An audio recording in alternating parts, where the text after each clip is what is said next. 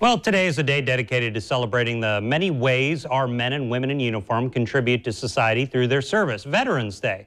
Military service provides veterans with leadership, discipline, and problem solving skills, traits that make veterans excellent small business owners. Joining us now to discuss the resources and programs available to help veterans start growing a business. Bernie Dandridge, a small business development specialist with Florida Capital Bank. Bernie, thank you for joining us. Hey, it's my pleasure. This is a, it, complex thing to deal with to set up a small business and get it going successfully. What are some things people, particularly veterans, might want to know from the, the ground as they start getting things up and running? Well, people that are just starting off need to make sure that they got a good support structure. They need to make sure that they have a great idea, of course, but they also need to make sure that they've covered things that they might not know a lot about, like um, legal matters, like having a great CPA, like having uh, HR issues covered, things like that we at Florida Capital Bank believe you need to have a great uh, banker. We're I was going to say, and you guys do the SBA loans, Small Business Administration loans? We do. We make SBA loans every day. Uh, we all also do USDA lending, but we do SBA loans with small business people constantly, and in particular, we're excited about doing them with veterans. Uh, you know, today in Florida, there's over 186,000 small businesses that are owned by veterans. Uh, that's almost 10% of all the businesses in the state. There's tremendous numbers of resources for people to, to get please go to our website at floridacapitalbank.com backslash veterans. That'd be flcb.com backslash veterans. And we've got a lot of resources there for you if you're a veteran. But please take advantage of those resources that will help you overcome challenges before they become a challenge. Yeah, I want to talk about some of the other resources that are out there. it was really interesting. Get your HR, get your CPA, get your legal backing. Um, what are some other resources locally that people have? My favorite resource locally is the Small Business Development Center, which is over at UNF. They do unbelievably great things for small business people for free. They have a tremendous number of experts there that help people in all kinds of different fields.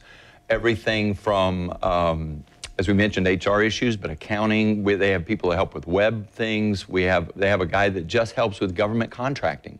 So if you're a veteran today and you look back at your military service and you think, gosh, there was an area there that I could put together a product that would really help meet that need in the military, and you want to develop a contract with the military about that, they have a guy at the SBDC who can help you work together to get that done. There's a lot of people who have great ideas, but it's the follow through that's the hard part. Oh man, that is so true. And when we see business failure, it's really truly because of a lack of business support and true great guidance.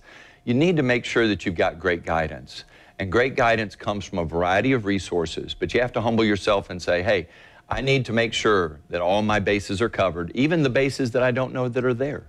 So um, we strongly encourage people to be involved with a good consultant in a variety of different areas, uh, and we want to be the consultant in the banking field.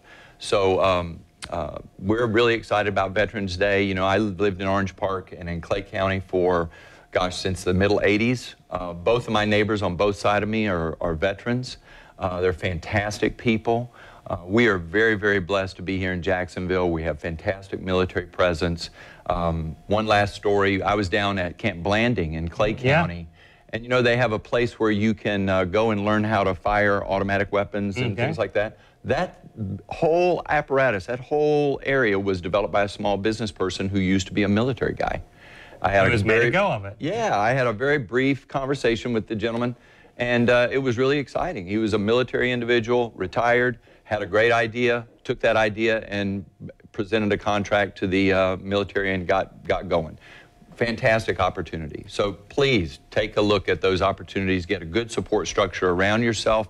Let us help you on the banking side, and we'd be great. Bernie Dandridge, Florida Capital Bank. Thanks so much. My really a uh, good day to talk about this stuff. And uh, Channel 4 and CW17 are proud to bring you live coverage of the annual Veterans Day Parade. That will be coming up uh, just a little later this morning at 11 on both stations as we honor the men and women of our fighting forces. Kent Justice and Melanie Lawson will be joined by special guests. That's the Jacksonville Veterans Day Parade live on the local station and CW17.